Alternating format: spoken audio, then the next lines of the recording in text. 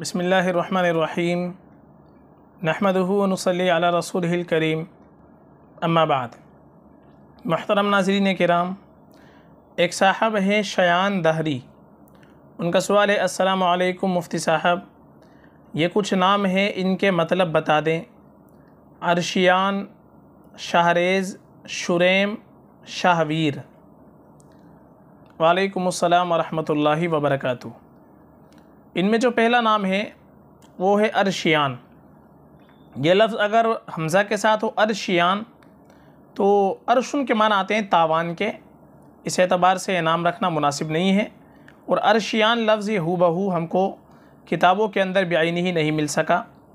और अगर ये लफ्ज़ हो अरशियान आइन के साथ तो फिर ये अरशुन से माखूद होगा।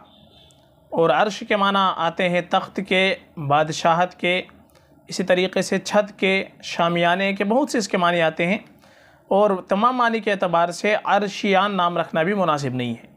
इसलिए इसके बजाय बेहतर ये है कि कोई अच्छे माना वाला हम नाम रखें। दूसरा नाम इसके अंदर आपने पूछा है, शाहरेज़। शाहरेज़ दरअसल ये दो लफ्ज़ों से मिलकर बना है और दोनों फ़ारसी ज़ुबान के लफ्ज़ हैं। एक शाह शाह के माना आते हैं, बादशाह के, और एक होता है रेज़। रेज़ ये लफ्ज़ फ़ारसी ज़ुबान के अंदर बतौर लाहिका के लगाया जाता है।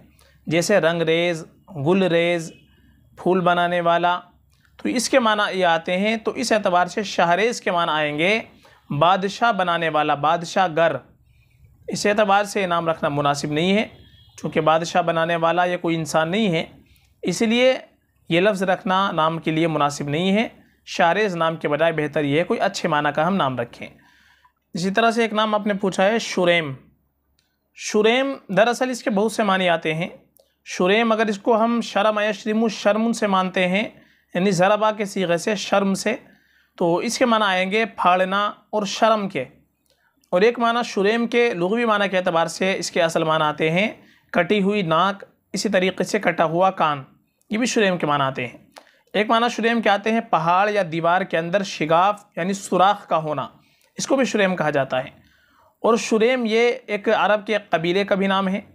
इसी वजह से आप देखेंगे कि सऊदी के अंदर जो बहुत से लोग होते हैं जिनके नाम के साथ शुरेम लगा होता है। जैसे शेख सऊद अशुरेम। तो उनके साथ ये शुरेम लगा हुआ है, चूँकि वो शुरेम कबीले से ताल्लुक़ रखते थे। तो ये शुरेम एक कबीले का भी नाम है। इसलिए माना के अतबार से तो ये नाम रखना मुनासिब नहीं है। लेकिन शुरेम कबीले का नाम है, उस नस्बत से अगर नाम रखना चाहे तो रख सकते हैं, कोई हरज नहीं है। इसी तरह से एक नाम पूछा है, शाहवीर। शाहवीर दरअसल ये भी फ़ारसी ज़ुबान का लफ्ज़ है और शाह के माना आते हैं बादशाह के और वीर वीर के माना आते हैं बहादुर के, दिलेर के। इस एतबार से शाहवीर के माना होंगे बहादुर बादशाह, दिलेर बादशाह। इस माना के अतबार से शाहवीर नाम हम रख सकते हैं, इसमें कोई ख़राबी नहीं है।